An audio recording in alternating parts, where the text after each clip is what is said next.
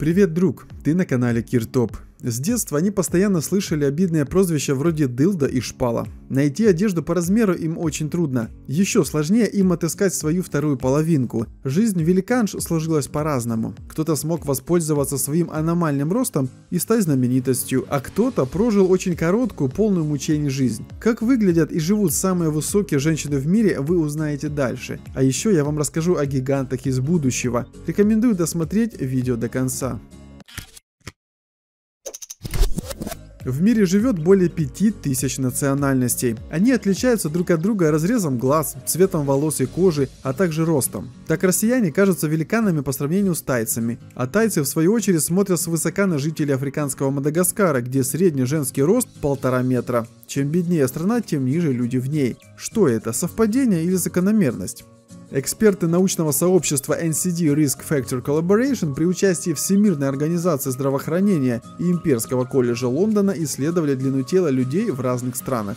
Они изучили данные жителей нескольких десятков государств и определили, где живут самые высокие люди, а где самые миниатюрные. Прирожденные баскетболисты и волейболисты обитают в Восточной Европе. Например, в соседней с Россией Латвии средний мужской рост равен 181,4 см, а женский 169,8 Эстония тоже населена гигантами. Рост среднестатистической женщины там составляет 168,7 см, а мужчины 181,6 Жители скандинавских стран также выделяются высоким ростом. В среднем норвежец вырастает до 79,7 см, а норвежка 165,6 Финны норвежцам под стать. Мужчины там достигают роста 179,6 см, а женщины 165,9 Жители России пониже скандинавов, но тоже отличаются немалым ростом. Среднестатистический житель нашей страны вырос до 176,5 см, а жительница до 165,3 Очень высокие люди живут в Северной Америке и в Австралии. Рост среднего жителя США равен 177,1 см, жительницы 163,5 Австралийцы еще выше. Мужчины у них вырастают до 179,2 см,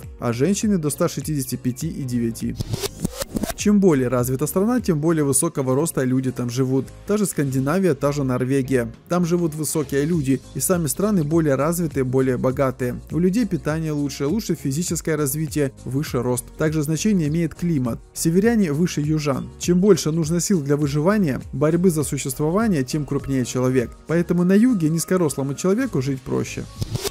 Эрика Ирвин, США, 203 сантиметра. До 2004 года Эрику звали Уильямом и она была мужчиной. Сделав операцию по смене пола, Эрика мечтала об актерской карьере, но роли ей предлагали только разных монстров, поэтому девушка решила стать фитнес-моделью. В этом деле Ирвин очень преуспела.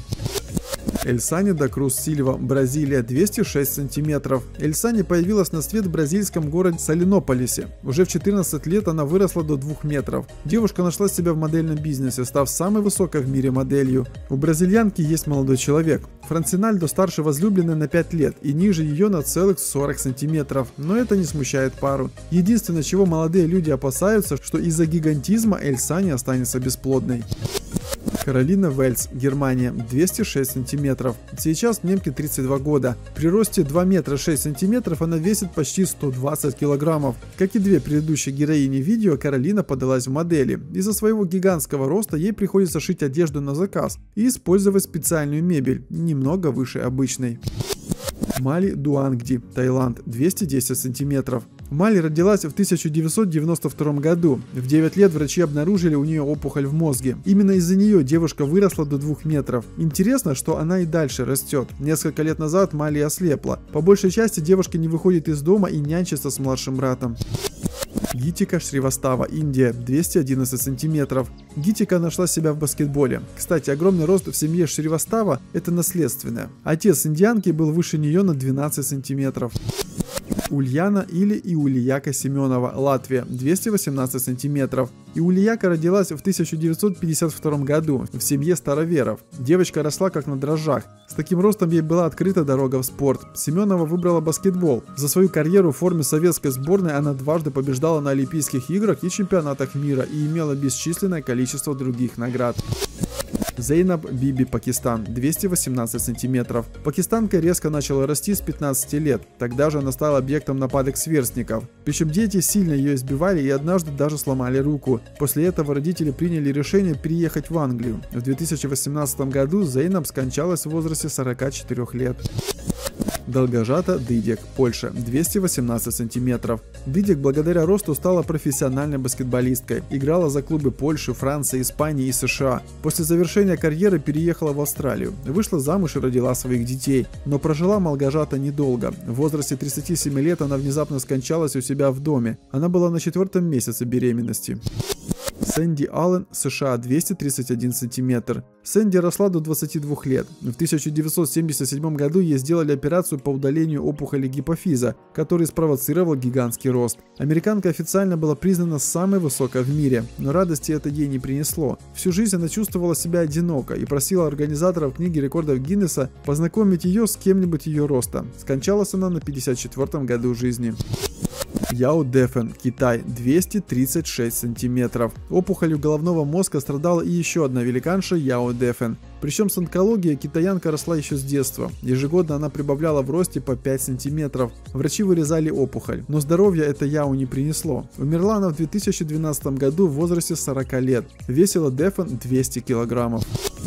Джейн Банфорд, Англия, 241 сантиметр. Самая высокая жительница Туманного Альбиона родилась в 1895 году. Уже в 13 лет она почти достигла 2 метров. Из-за своего роста девушка не могла полностью выпрямиться. Умерла она, не достигнув и 30 лет. Ее скелет хранится в анатомическом музее Бермингема. Дзен Жулань, Китай, 248 сантиметров. Сколиоз мешал Дзен встать в полный рост. Прожила самая высокая из зарегистрированных женщин в истории всего 18 лет. История о самых высоких девушках в мире была бы неполна и неинтересна, если не упомянуть о том, что нас ждет в будущем. Невозможно говорить о будущем, не зная нашего прошлого. В последние полтораста лет человечество сильно изменилось. Население Земли увеличилось со всего лишь 1 миллиарда до более чем 7. В развитых странах средняя ожидаемая продолжительность жизни взлетела от 45 с небольшим лет в середине 19 века до примерно 80 лет в наши дни. Человечество изменилось и физически. Значительная часть представителей нашего вида сейчас сейчас выше ростом, чем когда бы то ни было в истории. Средний рост человека увеличился во многих промышленно развитых странах, от Великобритании до Соединенных Штатов и Японии, и прибавка составила до 10 сантиметров. Но если взять данные за последние 150 лет, то окажется, что особенно заметные результаты показала одна страна – Нидерланды. Если мы достигли своего пика на Земле, то как насчет внеземного пространства? Могут ли люди, живущие в космосе или на других планетах, стать выше, чем обычные земляне? Теория о том, что внеземной образ жизни способен изменить параметры человеческого организма, нередко всплывает в научной фантастике. К примеру, в отмеченной рядом наград марсианской трилогии Кима Стэнли Робинсона рассказывается о колонизации человеком Красной планеты. По версии автора, за счет того, что сила тяжести на Марсе составляет всего 38% от земной, уже через пару поколений рожденный и выросшие на этой планете люди существенно возвышаются над своими дедами.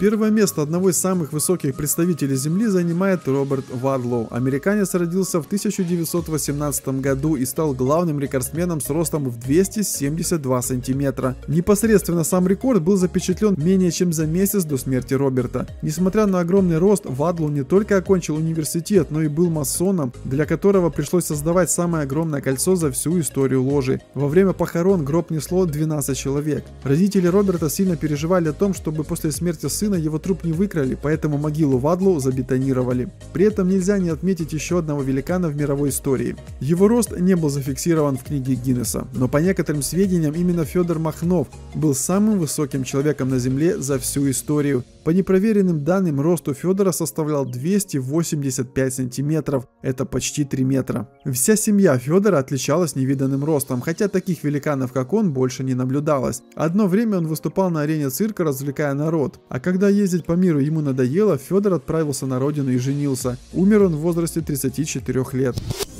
Мне кажется, теперь видео можно заканчивать. Вы получили достаточно информации о 10 самых высоких женщинах, увидели самых высоких мужчин, которые когда-либо жили на нашей планете и узнали, что в будущем человеческий род будет только расти. Поэтому не стоит удивляться, если окажется, что ваши внуки и правнуки будут свыше 2 метров ростом. Уже очень скоро это будет считаться нормальным средним ростом, а я со своими 190 сантиметрами буду казаться низкорослым пареньком. Делись этим видео со своими друзьями, помогайте своим близким становиться чуточку умнее. Каждый твой лайк, репост и комментарий помогает нам развиваться и улучшать качество контента. Спасибо, что остаетесь с нами. Всем пока.